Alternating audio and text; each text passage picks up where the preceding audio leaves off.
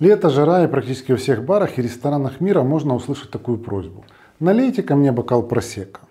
Но вот вопрос. Как вы обычно выбираете просека? Возможно, просто берете с полки первую попавшуюся бутылку. В этом сюжете я хочу рассказать вам, как много разных видов просека бывает, как его правильно выбирать и на какие надписи на этикетке стоит обращать внимание и что они означают. Интересно? Меня зовут Алексей Капуста, я создатель винной школы онлайн Vitis Pro. Если вы хотите разбираться в вине лучше, чем сейчас, подписывайтесь на этот канал и ставьте лайк этому видео. Мы выпускаем ролики каждую неделю, говорим о вине человеческим языком и делаем это увлекательно. В одном из предыдущих роликов я рассказывал вам о просека. Если кто пропустил, советую кликнуть по ссылке и посмотреть. Вас ждет интересная история про голую женщину и алкоголь, а также в этом ролике есть рассказ о том, как делают это вино, как оно стало популярным и как итальянцы отстаивали свое право на просека. Короче, было много историй. А сегодня мы об этом всем, конечно же, говорить не будем, чтобы не повторяться, а вместо этого пройдемся по видам просека, в том числе и по его альтернативным стилям. Попробуем сделать сюжет максимально практичным и полезным. Давайте для начала нарисуем себе мысленно некий усредненный образ просека, к которому мы так привыкли. Это будет, вероятно, легкое, свежее, игристое вино с интенсивной игрой пузырьков. С нотами яблока, груши, персика, медовой дыни, цитрусовых и белых цветов.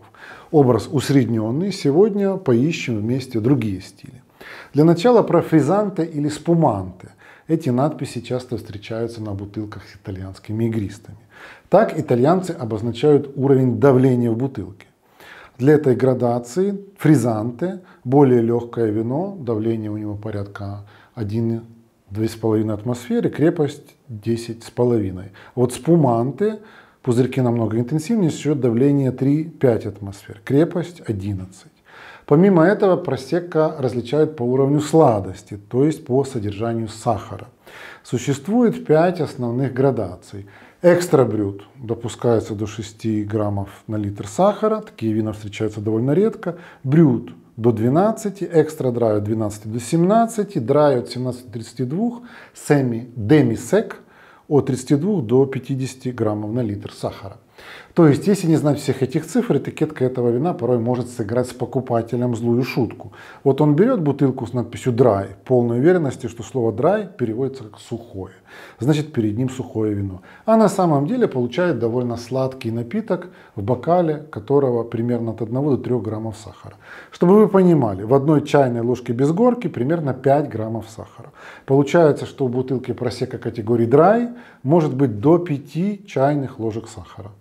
Так что будьте бдительны, и если хотите по суше и поменьше калорий, то берите брют, а еще лучше экстра брют, если найдете. Помимо этого существует несколько градаций качества этого вина. Самое базовое, простое маркируется просто словом просека. На бутылке с более качественными напитками ставят пометку супериоре. А есть еще высшая лига просека, это вина из особенных зон. Кольнелиано Вальдобиадене и Картисы. Если вам захочется попробовать что-то особенное, советую поискать вам именно игристое из этих субрегионов. Да, она будет стоить чуть дороже, но это гораздо интереснее и сложнее. Если вы увидите на этикетке слово «риве», то виноград для такого просека взят с одного отдельного участка, что тоже, скорее всего, будет указывать на особое качество напитка. Ну а слово «мелизимато» будет означать, что для изготовления вина использовали урожай одного единственного года урожая. Почему это важно? Для игристых вин эта практика нетипична. Соответственно, уже если производитель на это пошел, значит урожай был выдающимся. Ну, теперь давайте отойдем от классических стилей просека и поговорим о более новаторских винах. Например, последние годы все более популярным становится просеко кольфондо. Способ его изготовления очень похож на пятнат, о котором я говорил вот буквально в одном из предыдущих роликов. То есть это так называемый дедовский метод. Виноград гле разбраживают, но не до конца, и вино разливают по бутылкам. Там в бутылке оно дображивают, благодаря чему образуются пузырьки углекислого газа. Такое вино не фильтруют, поэтому на вид оно может быть слегка мутноватым. И само выражение «кольфондо» в переводе с итальянского означает «сосадка». В 2019 году такие вина выделили в отдельную категорию суэлевити, то есть на дрожжевом осадке. Помимо этого, многие виноделы сегодня стараются привнести в свой продукт что-то новое. Популярным трендом, например, становится просека на диких дрожжах с однократной ферментацией в автоклаве. Еще более популярным розовая просека с добавлением к винограду Глера 15% пино-нуара. Все это варианты для тех, кому уже несколько поднадоели классические стили просека и хочется попробовать что-то новое и необычное. Хотя надо признать, что в традиционной стилистике этих вин всегда есть своя прелесть. Ведь за что мы их любим? За то, что это легко, свежо, стильно и, честно говоря, намного дешевле, чем шампанское. А еще за универсальность. Вот это игристое вино подходит к самым разным блюдам. Экстра брюты и брюты хорошо сочетаются с молодыми сырами, морепродуктами, овощными салатами и вяленым мясом.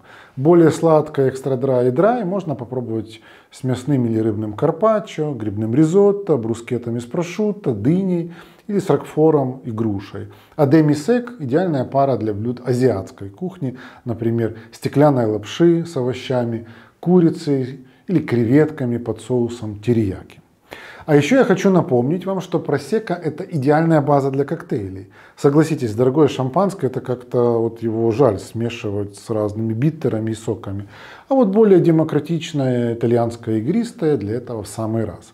С ним делают апероль шприц, беллини, кир рояль и другие популярные коктейли, которые добавят ярких красок вашей вечеринке.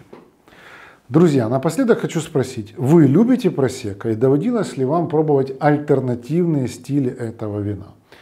Чтобы в следующий раз вам было проще выбирать его в магазине, я подготовил для вас небольшой подарок. В описании к этому видео вы найдете удобную инфографику с основными видами просека.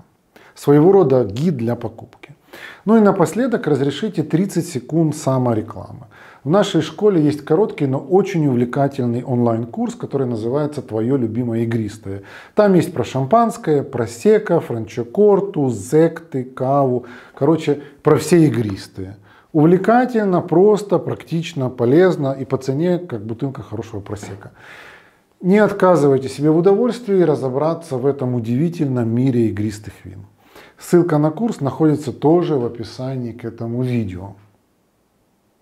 Друзья, если вам понравилось это видео, расскажите об этом мне и YouTube, кликнув по кнопке лайк.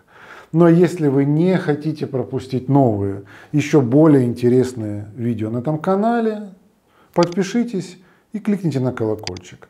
Также обратите внимание, что под этим видео есть кнопка «Поделиться».